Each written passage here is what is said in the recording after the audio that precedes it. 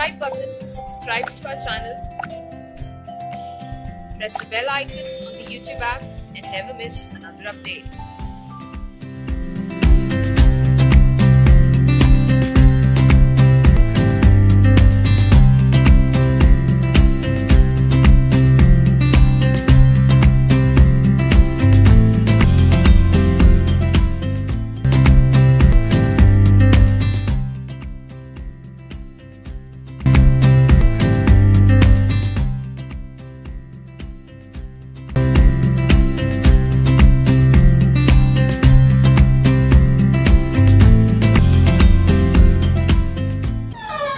నమస్తే నేను పతకమూరు Damodar Prasad senior journalist. మనం ఈరోజు అంటే ఈ గత రెండు మూడు రోజులుగా కలకత్తా పోలీస్ కమిషనర్ను అరెస్ట్ చేయడానికి సిబిఐ ప్రయత్నించడము. ఆ ప్రయత్నాలను పశ్చిమ బెంగాల్ ముఖ్యమంత్రి తృణమూల్ పార్టీ కాంగ్రెస్ పార్టీ అధినేత్రి మమతా బెనర్జీ ప్రతిఘటిస్తున్న దీక్ష కూర్చోవడం ఒక పెద్ద సంచలనానికి కారణమైన విషయం మనకు తెలుసు. ఈ పూర్వరంగంలో మన ఆంధ్రప్రదేశ్ ముఖ్యమంత్రి చంద్రబాబు నాయుడు అదేవిధంగా కర్ణాటకలో అధికారంలో ఉన్నట్టు జనతాదళ ఎస్ అధ్యక్షుడు దేవేగౌడ మరి Samajwadi party Bahujan Samaj party party ఇలా అనేక పార్టీలు మోడీ ప్రభుత్వ ఏకపక్ష చర్యలను కూడా ఖండించినటువంటి విషయం మనకు తెలుసు. ఈ పూర్వరంగంలో మరి సర్వోన్నత న్యాయస్థానం అంటే సుప్రీంకోర్టు నిన్న జోక్యం చేసుకుని ఆ విషయం వీళ్ళు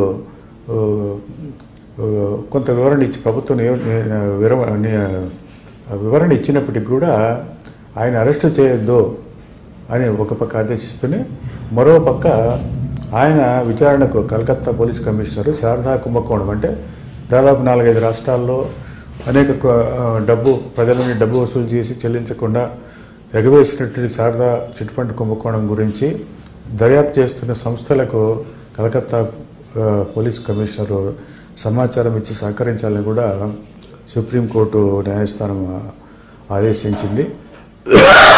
సుప్రీంకోర్టు ఆదేశించిన పూర్వరంగంలో ఇది మధ్యస్థంగా అంటే ఉద్రిక్తలు పెరగకుండా చేయడానికి సుప్రీంకోర్టు సవ్యంగానే అక్కడ ఇచ్చినటువంటి తీర్పు కొంత వెసులుబాటు కలిగింది. మమతా దీది దీక్ష విరమించారు.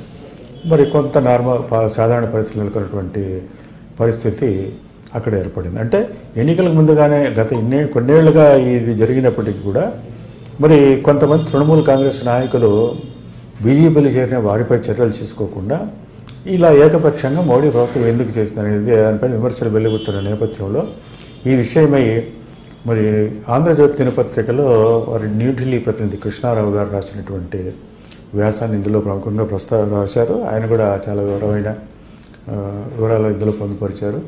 దాని శీర్షిక నీతి బాహ్య బాటల్లో భారత ప్రజాస్వామ్యం అనేది శీర్షిక. ఆ ఆ వ్యాసంలోని ముఖ్యాంశాలు ఈరోజు మనం చర్చించుకున్నాం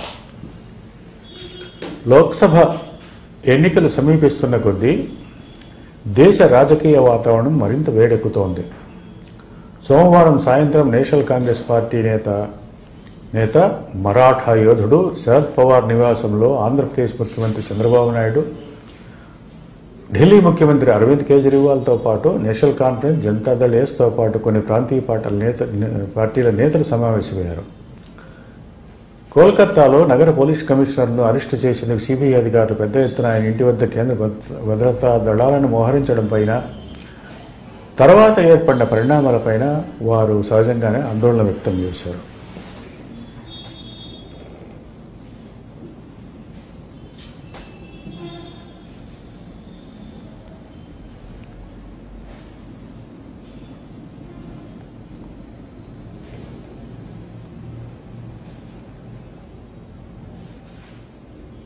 అంటే ఈ ప్రతిపక్షాలకు చెందినటువంటి ఈ నాయకులు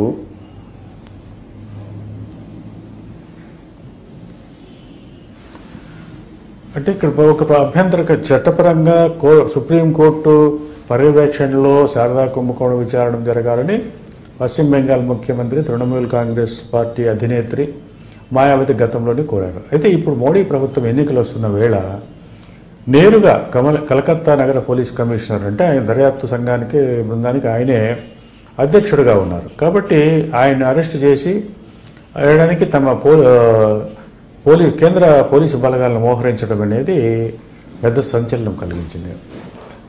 సిబిఐ అధికారులు కలకత్తా పోలీస్ కమిషనర్ను ఆయన ఇంటి వద్ద అరెస్ట్ చేయడానికి కొంత ప్రయత్నం చేసినట్లుగా లేదా ప్రశ్నించడానికి ప్రయత్నించినట్లుగా జరిగిన ఘటనలు చాలా దేశంలో కొంత సంచలనము ఆందోళన కూడా కలిగించాయి. ఇది సమాఖ్య వ్యవస్థలో కేంద్రం రాష్ట్రాల హక్కుల్ని భరించ హరించేటిదే చర్యగా చాలామంది కూడా అభివర్ణించారు.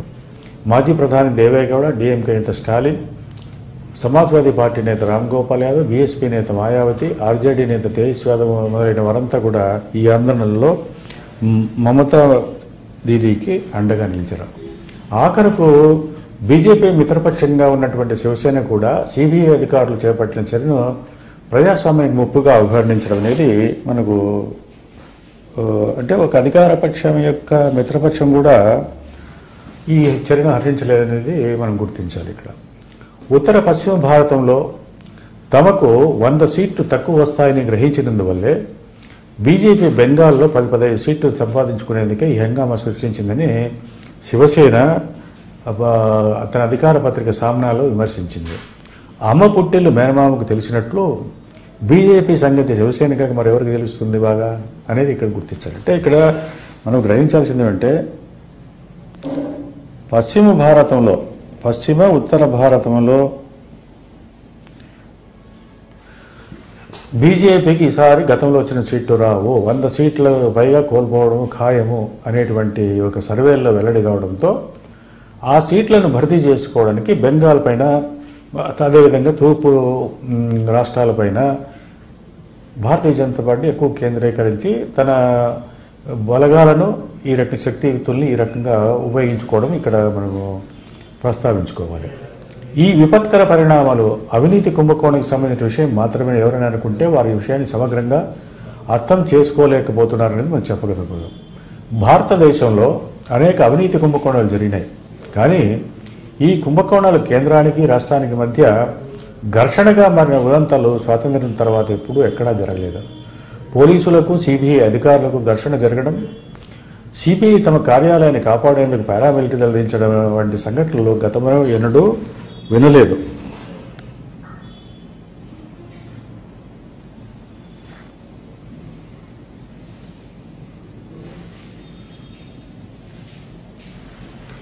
యూపీఏ హయాంలో బెంగాల్ తీరంలో భారత్ అమెరికా సంయుక్త వైమానిక విన్యాసాలపై సిపిఎం అప్పుడు అప్పట్లో అభ్యంతరం వెలుబుచ్చింది. కార్యకర్తలు అడ్డుకుంటారని ఆ- ఆ పార్టీ ముఖ్యమంత్రి అంటే పశ్చిమ బెంగాల్ ముఖ్యమంత్రి బుధదేవ్ భట్టాచార్య హెచ్చరించడంతో మామూలుగా చాలా సాత్వికుడైనటువంటి అప్పటి ప్రధాని మన్మోహన్ సింగ్ సైతం చాలా ఈ విషయంలో సిపిఎం హెచ్చరికపై తీవ్రంగా స్పందించారు కూడా.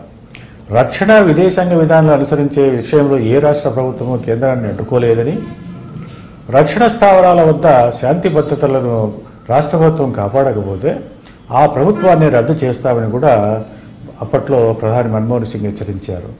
దీంతో భట్టాచార్య దిగిరావడమే కాక సిపిఎం ప్రధాన కార్యదర్శి అప్పటి ప్రధాన కార్యదర్శి ప్రకాష్ కారత్ ప్రధానమంత్రికి ఫోన్ చేసి రక్షణ విన్యాసాలకు తమ పార్టీ కార్యకర్తలు ఇలాంటి విఘాతం కలిగించబోరని కూడా హామీ ఇచ్చారు. దేశ భద్రతకు సంబంధించి ఇలాంటి కీలక ప్రాధాన్యత గల సంఘటన తప్ప కేంద్రం రాష్ట్రానికి స్పర్ధలు ఇచ్చిన దాఖలాలు ఏవీ లేవు. రెండింటికి స్పర్ధలు వచ్చినట్టు దాఖలాలు ఏవీ లేవు.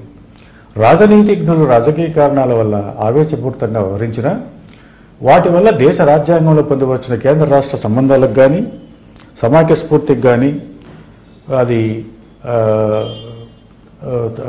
భంగం కలిగించడం అనేది ముఖ్యాంశం ఇక్కడ. పోలీసులకు సైనికులకు మధ్య ఘర్షణ జరిగేంత తక్కువ స్థాయి రాజకీయాలకు కేంద్ర రాష్ట్రాలు పాల్పడితే నేతలు హుందాతనం కోల్పోతే ఇక రాజ్యాంగం ఎందుకు? ఈ ప్రజాస్వామ్య వ్యవస్థ ఎందుకు? ఈ సమస్య ఈ ప్రశ్న సహజంగానే అందరికీ అందరి మొదలలో తో- తొలుస్తుంది.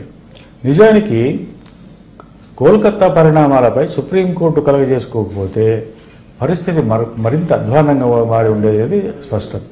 బహుశా రాజ్యాంగం సంక్ష రాజ్యాంగ సంక్షోభం సృష్టించారన్న పేరుతో కేంద్రం మమతా బెనర్జీ ప్రభుత్వాన్ని రద్దు చేసి ఉండేది.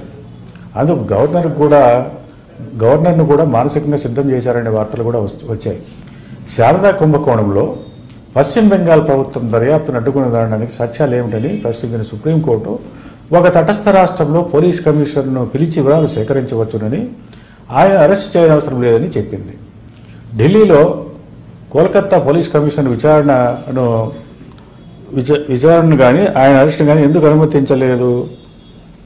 సి అని సిబిఐ ఈ ప్రశ్నలకు సంబంధించిన ఆత్మప్రసారం చేసుకోవాలనేది మనం గుర్తు మనం ఈ సందర్భంగా గమనించుకోవాలి. అంటే తమ రాష్ట్రాలపై ఒత్తి ఏదో ఒక సాకుతో ఒత్తిడి తేవడానికి ఈ నరేంద్ర మోడీ ప్రభుత్వం ఒక ప్రయత్నిస్తున్నదనేటువంటిది ఒక ముఖ్యమైనటువంటి అంశంగా మనం గమనించాం సుప్రీంకోర్టే కనుక జోక్యం చేస్తే పరిస్థితి మరింత అధ్వానంగా ఉండేదని కూడా నిర్వివాదాంశం శారదా కుంభకోణంపై మమతా బెనర్జీ నియమించిన ప్రత్యేక దర్యాప్తు బృందం చీఫ్గా ఉన్నటువంటి కలకత్తా పోలీస్ కమిషనర్ తన దగ్గర ఉన్న వివరాలను సిబిఐకి సమర్పించకపోతే లేక ఆ కుంభకోణంపై విచారణలో సిబిఐకి సహకరించకపోతే ఆ విషయం సుప్రీంకోర్టుకు చెప్పాల్సిన బాధ్యత సిపిఐ సిబిఐకి ఉండింది.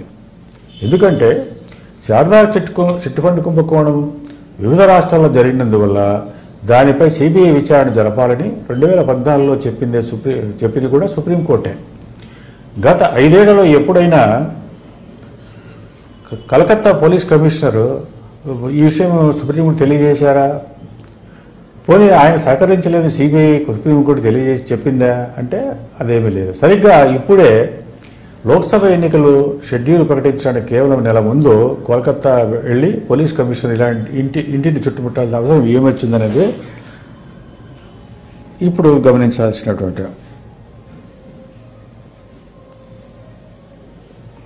అంటే ఎన్నికల వేళ రాజకీయ లబ్ధి కోసమే మోడీ ప్రభుత్వం ప్రయత్నిస్తున్నది అనేది స్పష్టంగా ఈ ఘటనను బట్టి మనకు స్పష్టమవుతుంది. అంటే మనం రాజకీయ రాజనీతిజ్ఞులు రాజకీయ కారణాల వల్ల ఆవేశపూరితంగా వ్యవహరించిన వాటి వల్ల దేశ రాజ్యాంగంలో పొందుపరిచిన కేంద్ర రాష్ట్ర సంబంధాలకు కానీ సమాఖ్య స్ఫూర్తికి భంగం వాటిల్లకుండా జాగ్రత్త పడాలి. పడుతుంటారు కూడా.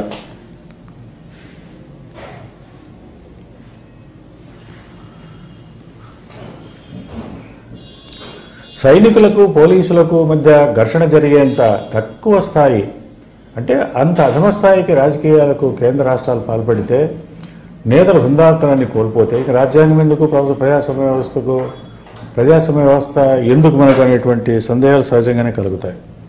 బహుశా రెండు వేల పంతొమ్మిది ఎన్నికల్లో ఏదో రకంగా మమతా బెనర్జీని అభాసు పాలు చేసి రాజకీయ ప్రయోజనాలు పొందేందుకే మోదీ సర్కార్ ఈ చర్యకు పాల్పడి ఉన్నాం పాల్పడినట్లు కనిపిస్తున్నది. చిట్ ఫండ్ల పేరిట ప్రజల వద్ద వేల కోట్ల డబ్బులు వసూలు చేసి వ్యాపారాన్ని అనేక రంగాలకు విస్తరించి ప్రజలను మోసగించిన శారదా కుంభకోణంలో ఎక్కడా మమతా బెనర్జీ పేరే లేదు. నిత్యం నారచర్యలు కట్టుకునే ఆమెకు ఈ కుంభకోణంలో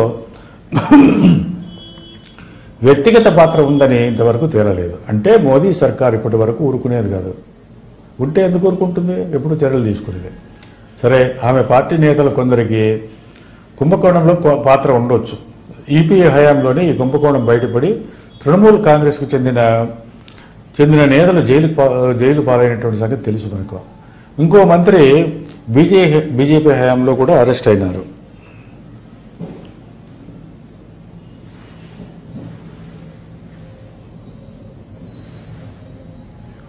పశ్చిమ బెంగాల్లోనే కాదు అస్సాం జార్ఖండ్ బీజేపీ పాలిత ఛత్తీస్గఢ్ కూడా ఈ కుంభకోణం విస్తరించింది. విచిత్రం ఏమంటే ఈ కుంభకోణంలో కీలక పాత్ర వహి- కీలక పాత్ర వహించి శారదా గ్రూప్ మీడియా విభాగం సారథ్యం వహించి ఆ గ్రూప్ చైర్మన్ సుదీప్త సేన్ కలకత్తా నుంచి పారిపోవడానికి సహాయపడిన ఆరోపణలు ఎదుర్కొంటున్న ఒకప్పటి మమతా కుడిబీజం ముకుల్ రాయ్ విచారణ జరుగుతుండగానే బీజేపీలో చేరారు. మరి ఆయనపై సిబిఐ ఇంతవరకు ఏ విచారణ జరిపిందో ఎవరికీ తెలియదు.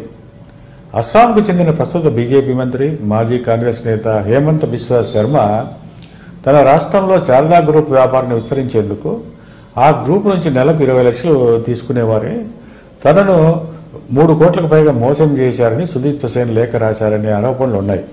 ముకుల్ రాయ్ హేమంత విశ్వాసులు బీజేపీలో చేరితే ఎందుకు చర్య తీసుకునేవారిపైన? అంటే సమాధానం లేదు.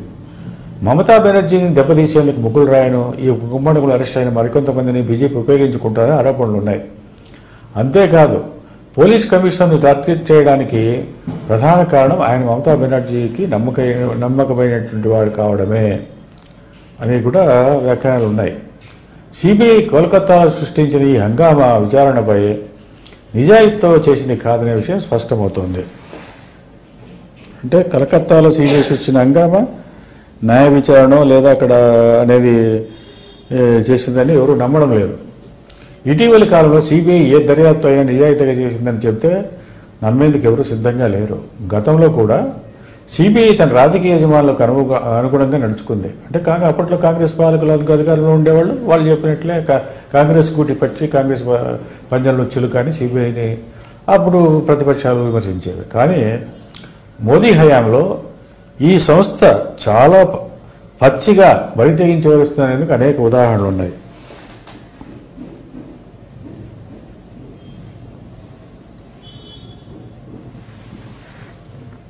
ఎంత పచ్చిగా ఆవరిస్తున్నదంటే సిబిఐ అధికారులపై సిబిఐ అధికారులు కేసులు పెట్టుకునేదాకా దిగజారారు సిబిఐ అధికారులే గ్రూపులు నిర్వహించుకుంటారని ఒక అధికారి అందరం ఎక్కితే మరో అధికారి ఆ వర్గాన్ని శంకరగిరి మాన్యాలు పట్టించి పట్టించడానికి ప్రయత్నిస్తారని కూడా తాజాగా తెలిసింది. సిబిఐ కనుక నిజాయితీ ఉంటే ముకుల్ రాయ్ హేమంత్ విశ్వాసులు కటకటకాల వెనక ఉండేవారు. ఇది ముఖ్యమైనటువంటి విషయాలు మనం. సిబిఐకి నిజ నిజాయితీ నిష్పాక్షికత కనుక ఉండింటే వాళ్ళ పైన ఇప్పటికే సిబిఐ చర్య కఠినమైన చర్యలు తీసుకునేది. మరి అసలు బీజేపీకి అవినీతిపై పోరాడాలని నిజాయితీ ఉందా? ఉంటే వారిని పార్టీలో చేర్చుకునేదే కాదు.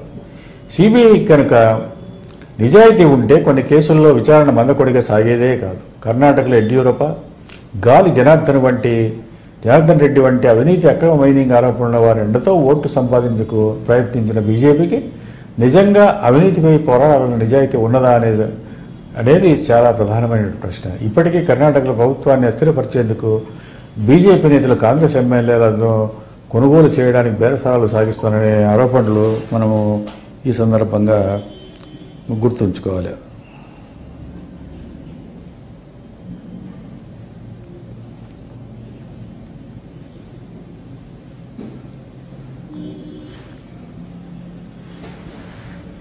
సిబిఐని మాత్రమే కాదు ఐటీ ఈడీ వంటి సంస్థల్ని కూడా ప్రత్యర్థుల్ని బలహీనపరిచేందుకు మోడీ సర్కార్ ఉపయోగించుకుంటున్నదని వివిధ ప్రాంతీయ పార్టీల నేతలు వాపోతున్నారు. కర్ణాటక ఎన్నికల సందర్భంగా వివిధ వ్యాపార సంస్థలపై పార్టీ నేతలపై విస్తృతంగా దాడులు జరిగాయి.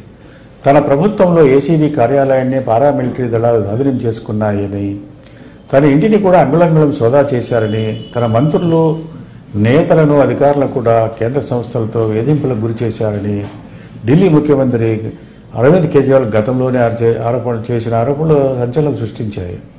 ఎస్పీ బీఎస్పీ వంటి నేతలు కూడా తాము ఈ వేధింపులకు గురయ్యమని అంటున్నారు. కొందరు ప్రాంతీయ పార్టీల నేతలైతే అసలు ఈ సంఘటనలపై స్పందించేందుకే భయభ్రాంతులు కావడం ఓ విచిత్ర పరిణామం అనేది మనం గుర్తించుకోవాలి.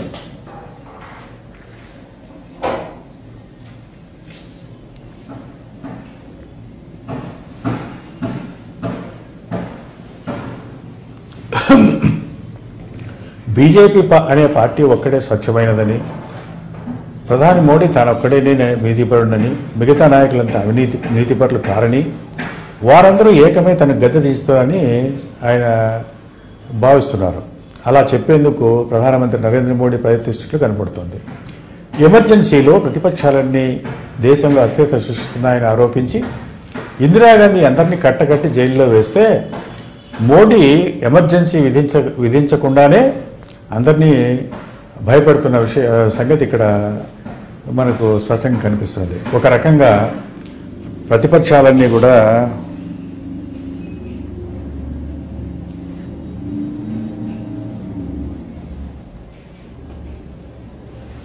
ఒక రకంగా ప్రతిపక్షాలన్నీ ఏకమయ్యేందుకు మోడీని దోహదం చేస్తున్నారు. కర్ణాటకలో కాంగ్రెస్ జేడీఎస్ ఏకం కావడానికి ఉత్తరప్రదేశ్లో సమాజ్వాదీ బహుజన్ సమాజ్ పార్టీలు ఏకం కావడానికి దేశవ్యాప్తంగా ప్రతిపక్షాలు ఏకం కావడానికి మో- మోడీయే తన చర్యల ద్వారా కారకులవుతున్నారు. తద్వారా వారి ఓటు ఓటు బ్యాంకులు సంఘటితమయ్యేందుకు కూడా వీలు కల్పిస్తున్నారు. కానీ ఈ క్రమంలో కేంద్రాన్ని రాష్ట్రాలు శత్రులుగా పరిగణించేలా చేసి ఒక అంతర్గత యుద్ధ వాతావరణాన్ని ఏర్పరిస్తే దానికి ఎవరు బాధ్యులు? దేశంలో ఆరోగ్యకరమైనటువంటి రాజకీయాల స్థానంలో విధ్వంసర రాజకీయాలు ప్రవేశించడము కర్ణాటకలో గెలుపుకు దేశంలో వ్యవస్థలు బలి కావడం మనకు కావడం మనం చూస్తే ఇది చాలా ఆందోళన కలిగిన కలిగించే పరిణామంగా చెప్పుకోక తప్పదు.